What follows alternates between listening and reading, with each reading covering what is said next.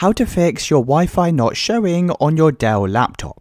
So if you're trying to connect to the Wi-Fi and you can't see the Wi-Fi symbol in this bottom taskbar, or you can see the Wi-Fi symbol but you're just unable to connect, I'm going to show you how we can go in and fix all of these network issues. Now the very first thing you need to do is open up the start menu on your computer, go in search for services and click on this window here. You then need to scroll right down to the bottom until you see a service called WLAN Auto Config. Double click on this service and make sure the startup type is set to automatic. Also make sure the service status is running so you can always go and press this start button and then we can press apply and OK. Once you've done that, right click on the service and press restart. The next thing you'll need to do is open up the start menu and search for device manager and then click on this window. Click on the drop down arrow next to network adapters and you need to locate your Wi-Fi adapter. So typically it should have Wi-Fi in the name, mine's this Intel Wi-Fi at the top here. Now the first thing we need to do is go and right click on this,